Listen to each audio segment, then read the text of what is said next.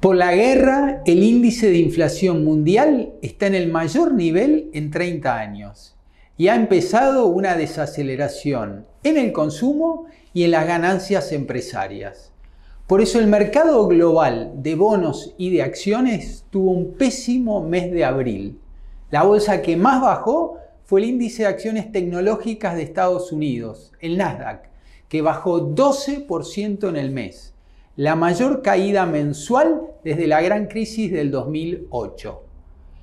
El mercado de monedas también tuvo movimientos fortísimos. El yen se depreció 7% y el euro 5%.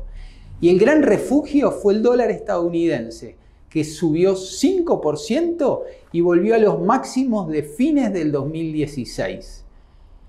En cuanto a los commodities, fue un mes muy volátil. Por el gran derrape que está teniendo la economía china, el cobre y el mineral de hierro bajaron 7%.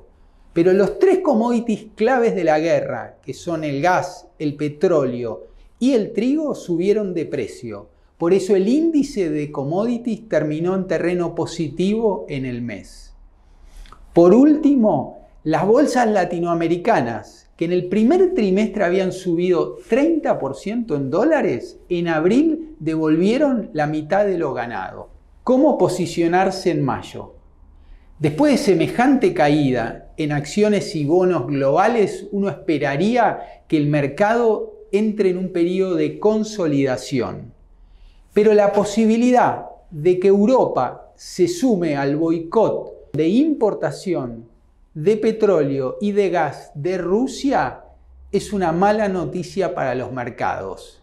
Si bien si esto se concreta es muy bueno para los países exportadores de estos commodities.